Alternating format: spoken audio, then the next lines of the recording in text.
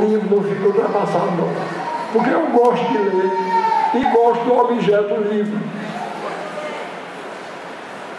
E depois de outra coisa, eu só gosto de ler deitado. E eu não vou ficar com o computador empolando pela cama, não.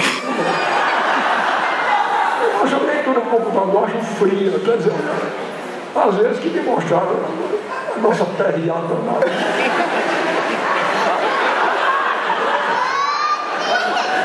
Eu livro, porque eu, agora mesmo recebi um belíssimo livro de Vera Ferraz, Vera Ferreira, é, escrito, um livro que, sobre a avó dela, Maria Bonita.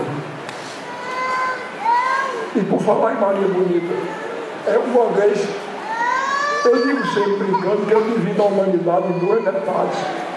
Os que gostam de mim e concordam comigo, e do outro lado os equivocados.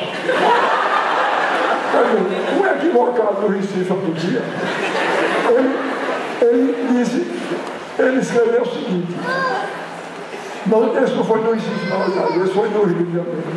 Ele disse, dos nordestinos, arcaicos e nefastos para o Brasil, já morreram Antônio Conselheiro, Padre Cícero e Lampião.